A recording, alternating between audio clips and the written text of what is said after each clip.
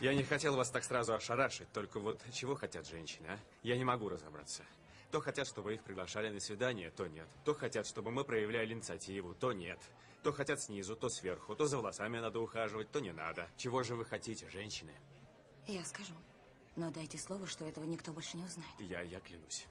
Это тайна, священная. Священная тайна. Готовы? Да. Точно? Ну, вроде как. Ладно, слушайте. Мы понятия не имеем, чего хотим. Я так и знал. Так и знал! Суки! Черт.